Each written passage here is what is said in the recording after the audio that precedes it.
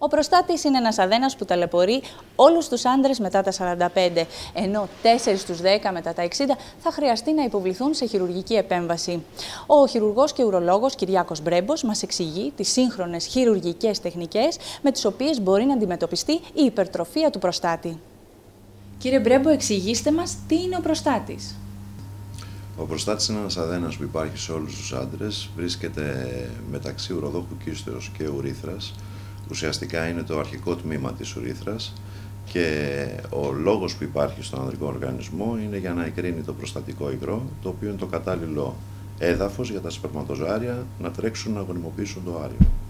Τι εννοούμε όταν λέμε υπερτροφία του προστάτη; Μια φυσιολογική διαδικασία η οποία περίπου στην ηλικία των 60, λόγω του ότι μεγαλώνει αρκετά εκεί αυτός ο αδένας, κλείνει το πρώτο τμήμα της ουρίθρας και έχουμε σαν αποτέλεσμα την, τα αποφρακτικά φαινόμενα στην ούρηση. Δηλαδή εμποδίζεται η ούρηση στον ασθενή.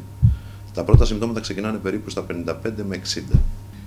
Ποια είναι τα συμπτώματα που αντιμετωπίζουν οι συγκεκριμένοι ασθενείς; Τα κυριότερα συμπτώματα είναι δυσκολία στην ούρηση κατά τη διάρκεια της ημέρας, συχνουρία και το κύριο και πρώτο σύμπτωμα είναι η νυκτουρία. Δηλαδή σηκώνονται δύο, τρεις, τέσσερις φορές το βράδυ, ξυπνάνε για να ορίσουν.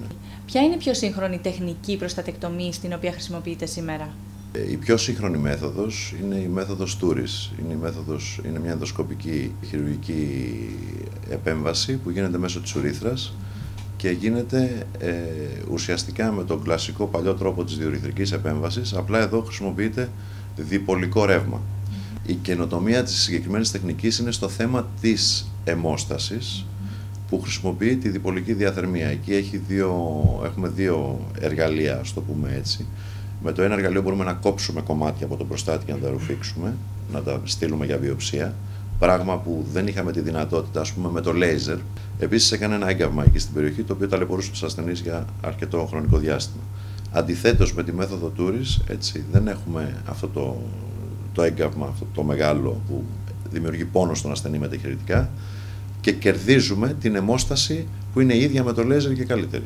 Ποια είναι τα πλεονεκτήματα της συγκεκριμένης τεχνικής; Ε, ε, για τον ασθενή είναι πολύ μεγάλο το κέρδος γιατί μπορεί να φύγει είτε σε 24 ώρες από το νοσοκομείο, από την ώρα της επέμβασης. Ε, τους τελευταίους ασθενείς, εγώ έχω μια σειρά ασθενών το τελευταίο εξάμεινο, τους τελευταίους 50 εγώ τους βγάζω και το ίδιο βράδυ. Ωστόσο, επηρεάζεται η σεξουαλική ζωή του ασθενούς; Ε, η στήση που ενδιαφέρει όλους τους άντρες, γιατί υπάρχει ένας μύθος γύρω από την προστατεκτομή, ότι όταν κάποιος κάνει, προστάτε, κάνει επέμβαση στον προστάτη μετά δεν έχει καλή στήση. Αντιθέτως εδώ είναι καλύτερη στήση μετά από αυτή την επέμβαση. Ο λόγος είναι το ότι δεν πλησιάζουμε καθόλου στα αγκία και στα νεύρα τα οποία ενέχονται στη στήση. Πάμε κεντρικά, αφαιρούμε το κομμάτι εκείνο το οποίο μας εμποδίζει την ούρηση και επίσης λόγω του ότι αφαιρούμε το κομμάτι αυτό ε, που ουσιαστικά αιματωνόταν από τα ίδια αγκία τα οποία είναι υπεύθυνα και για τη στήση, το αίμα το οποίο πήγαινε στον προστάτη εξοικονομείται και πηγαίνει μπροστά στο πέος. Οπότε έχουμε καλύτερη στήση μετά το χειρουργείο. Ιωάννα Αλεξίου για το Doctor's Channel.